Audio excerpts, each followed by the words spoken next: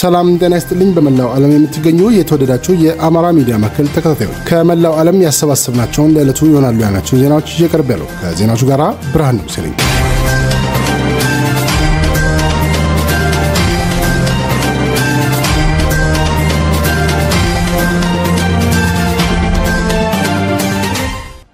በአብይ አህመድ ትዕዛዝ የጸጥታና የደህንነት መዋቅሮ ላይ ለውጥ መደረጉ ተገለጸ።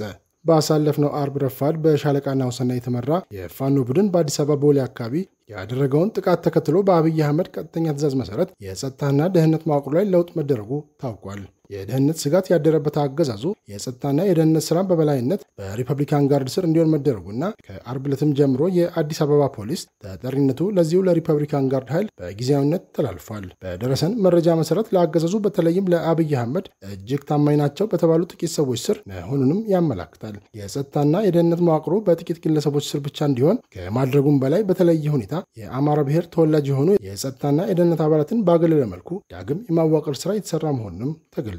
አሁን ላይ አገዛዙ ባለበት ከፍተኛ የደህንነት ስጋት የተነሳ ከመካከለኛ አመራር ጀምሮ ያሉ የአገዛዙ ባለስልጣናት ከጠቅላይ ሚኒስትሩ እውቅና ውጭ ከሀገር እንዳይወጡ መመሪያ ተላልፎ መከልከላቸውንና የኤርፖርት ጸጥታና ደህንነትም ሙሉ በሙሉ በሪፐብሊካን ጋርድ ቁጥጥር ስር እንዲሆን መደረጉ ታውቋል።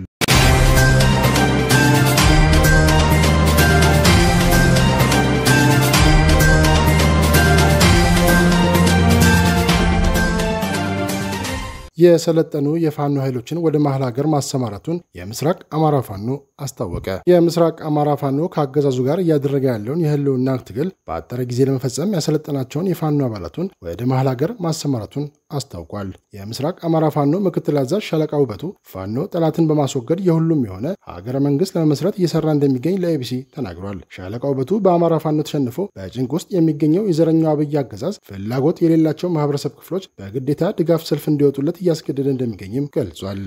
እኔ ፋኖ ረዳ ውበቱ ይባላል። የምስራቅ አማራ ፋኖ ምክትል አዛዥ ነኝ። ያው እንግዲህ አመት ሊቆጠር እየመጣ ነው ወደ በረሃ ከወጣን እዛም ደግሞ ውጤታማ ነን። በጣም ምርጥ ምርጥ የሆነ ውጤት እያስመዘገብን ነው በየቀኑ በአጭር ጊዜ ያው ለውጥ ያመጣ ይሄ ትግል በጣም የመረረውና የከፋው ቤተሰብ በእኔ ጊዜ እናቶች እህቶች አያለቅስም ብሎ በሀቀኝነት ላገታግሎ የወጣ ነው። እዛም ውጤታማ ነን። በጣም የሚያምር ስራ እየተሰራ ነው። የሚያምር በየወቅቱ ምርጥ ስራ እየተሰራ ነው።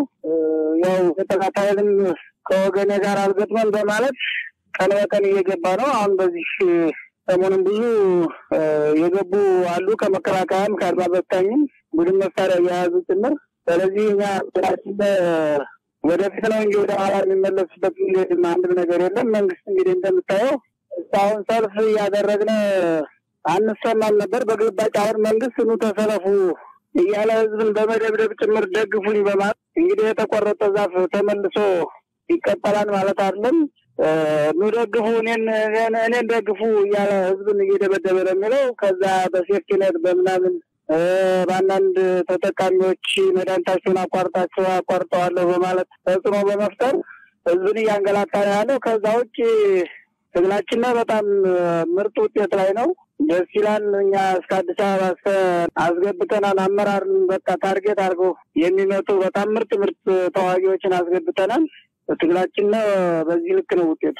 የምስራቅ አማራ ፋኖ ከሰሞኑ ሮቢት አካባቢ በአካሄደው ኦፕሬሽን በጠላት ኃይል ላይ እርምጃ መውሰዱንና በርካታ የአገዛዙ ወታደሮች ሙትና ቁስለኛ መደረጋቸውን ሻለቃ ውበቱ አስታውቋል። ሻለቃ ውበቱ እንደገለጸው የምስራቅ አማራ ፋኖ የዛሬ አንድ ዓመት ከነበረበት በአስር እጥፍ ማደጉንና ከራሱ አልፎ በተለያዩ የምስራቁ ክፍል ላሉ የፋኖ አደረጃጀቶች ድጋፍ እያደረገ እንደሚገኝ ከ AMC ጋር በነበረው ቆይታ ገልጿል።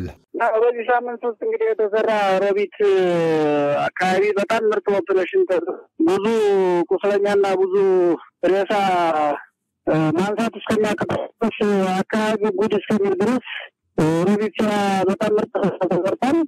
ወደ አንድ ሰልፍ ሰልፍ ሲወጣ እዛም በጣም ጥሩ ውጤት ተሰርቷል። ዶሮ ግብሩም ሁለት ቀን በዚህ ሳምንት ውስጥ በቃ ጥሩ ጥሩ ኦፕሬሽን ተሰርቷል።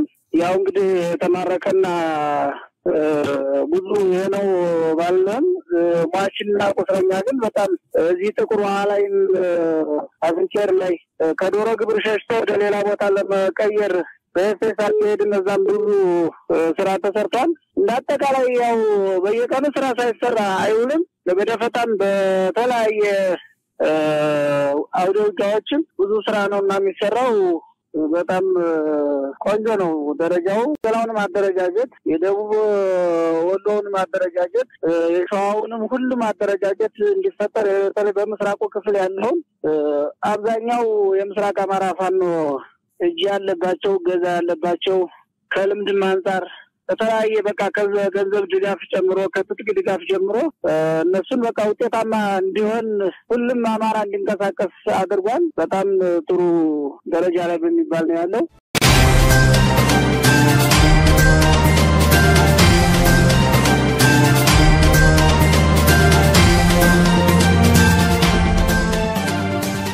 የህዝባዊ ወያኔ ሓርነት ትግራይ ህወሓት ጦሩን ወደ አላማጣ ከተማ እያስገባ መሆኑ ተገለጸ። የአማራና የትግራይ ክልሎች ከሚወዛገቡባቸው አካባቢዎች አንዱ የሆነው የራያ አላማጣ ወረዳ የህወሓት ኃይሎች በከፈቱት ጥቃት ከቅዳሜ ጀምሮ የተኩስ ልውውጥ የተደረገ እንደነበረ ታውቋል። በዚህም ከቅዳሜ ጀምሮ ላለፉት ሁለት ቀናት የነበረውን የተኩስ ልውውጥ ተከትሎ ህወሓት ጦሩን ወደ አላማጣ እያስገባ እንደሚገኝ ታውቋል። ስማቸው እንዳይጠቀስ የጠየቁ የአላማጣ ከተማ አስተዳደር ከፍተኛ አመራር ህወሓት ከፍተኛ ጦሩን አሰማርቶ በከባድ መሳሪያ ወደ አላማጣ እየመጣ ያለና ወደ አላማጣ ከተማ ዘልቆ በመግባት ከፍተኛ ጥቃት እየፈጸመ መሆኑንም ገልጸዋል። ከፍተኛ አመራሩ ለአንከር ሚዲያ እንደገለጹት የከተማው ነዋሪ ወደ ተለያዩ አቅራቢያ ወረዳዎች እየተሰደደ እንደሚገኝም ገልጸዋል። ያው የኛ ኃይል እንደሚታወቀው ሚኒሻ ነው ያለን። እነሱ ሶስት ክፍለ ጦር ከአርሚ ሀያ አራት ሶስት ክፍለ ጦር ከአርሚ አርባ ሶስት ነው ይዘው የመጡት ሁለት ቀን ለመመከት ሞከር ራሽ አይመጣጠንም። እነሱ የታጠቁት የቡድን መሳሪያ ነው። ያው ከባድ መሳሪያ ታጥቀዋል። ያው አልቻልንም። በዚህ ምክንያት የእኛ ሰራዊት አጋጣሚ ለጊዜው ተበትኗል። of course እያሰባሰብ ነው ነው ግን እነሱ አሁን ያው almost አላማጣ አካባቢ እየገቡ ነው። ማህበረሰቡን እያሰቃዩ ነው። ከብት እያረዱ ነው። የገጠሩ ማህበረሰብ ያሳዝናል በጣም። ይህን ያክል ይሆናል ብለን አላሰብንም። እኛ መንግስትን አምነን ነበረው የተቀመጥነው ግን አልሆነም። አመራሩ እንደገለጹት የአብይ አህመድ መከላከያ በአቅራቢያው ያለ ቢሆንም በካምፕ ውስጥ ሆነው ምንም አይነት እንቅስቃሴና እርምጃ እንዳልወሰደ ገልጸው የአላማጣ ከተማ አስተዳደርም ለጊዜው ከተማዋን ለቀው በቅርብ ርቀት ላይ እንደሚገኝና ከተማዋን መልሶ ለመቆጣጠር በሚቻልበት ሁኔታ እየመከረ ይገኛል ብለዋል። እስካሁን መከላከያ ምንም አይነት እርምጃ አልወሰደም። ያው እነሱ በአርሚ ደረጃ እኛ በክላሽ ነበር ለሁለት ቀን ውጊያ የነበረው ማአት መስዋዕትነት ከፍለናል። ከባድ ወራሪ ኃይል ነው የመጣው። እጅግ በጣም ዘግናኝ ወራሪ ኃይል ነው የመጣው።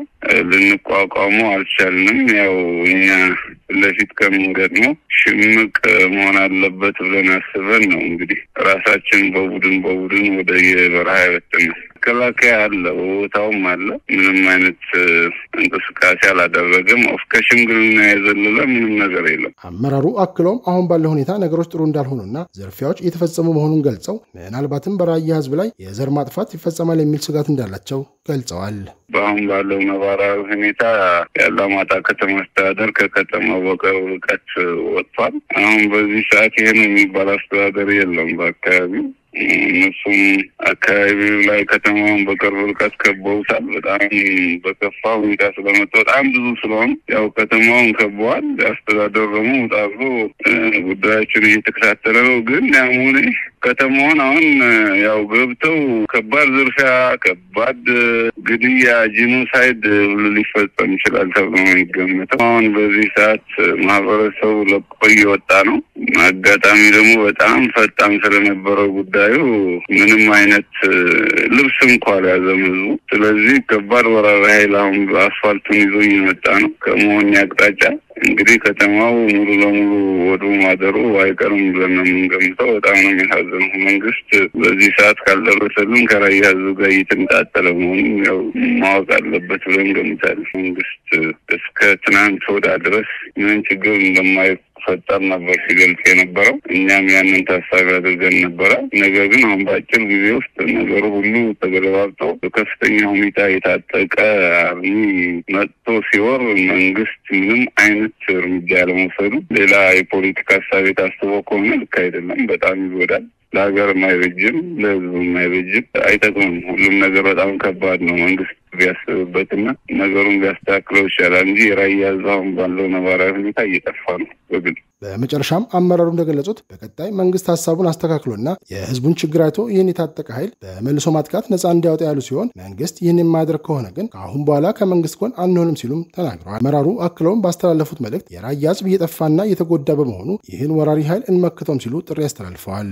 እኛ የምንጠብቀው የመጀመሪያ መንግስት ሀሳቡን አስተካክሎ የህዝቡን ችግር አይቶ ይህን የታጠቀ ኃይል ከማህበረሰቡ ጋር በጋራ ሆኖ ባለበት ወደ መልሶ ማጥቃት ገብቶ ማህበረሰቡን ነጻ እንዲያወጣ እንጠብቃለን። ሁለተኛው ግን ከአሁን በኋላ እኛ መንግስት ይህንን ማድረግ ካቃተው እኛ ከአሁን በኋላ ከመንግስት ጎንም አይደለንም። እኛ ራሳችን ነጻ የምናወጣበት መንገድ እንፈጥራለን። ወደ ሌላ ነገርም እናመራለን። መከላከያ እስካሁን ምንም አይነት የተተኮሰም ከካምፕም አልወጣም። ካምፑ ላይ ነው ያለው። ጭራሽ አንድ ጥይት ሲተኮስም አልሰማው። ምን በቃ እነሱ ሲጀመር እጅግ በጣም እየታጠቁ ናቸው። ማንም አያቆማቸው።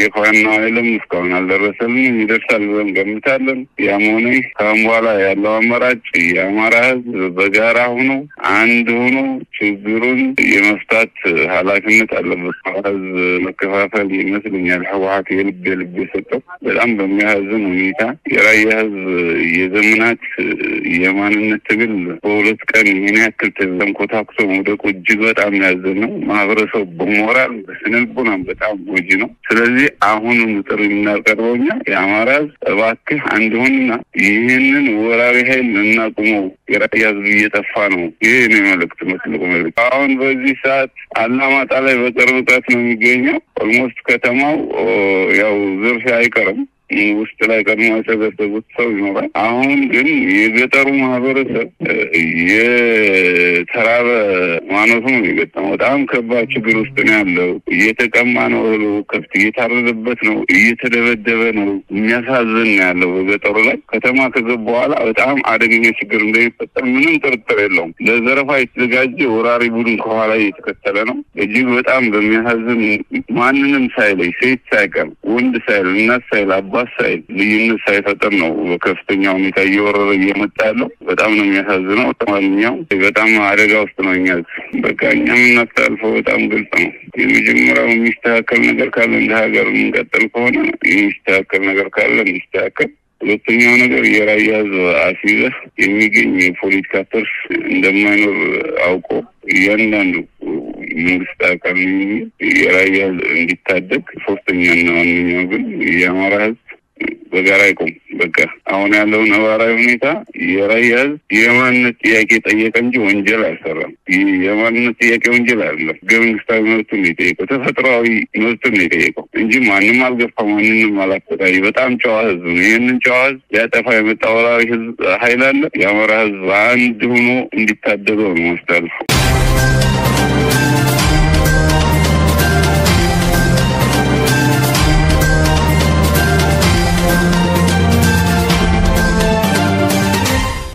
ለዕለቱ ከአማራ ሚዲያ ማዕከል የያዝናቸው ዜናዎች እስካሁኖቹ ነበሩ። ከዜናዎቹ ጋር ብርሃን ንጉሴ ነበርኩኝ። መልካም ቀን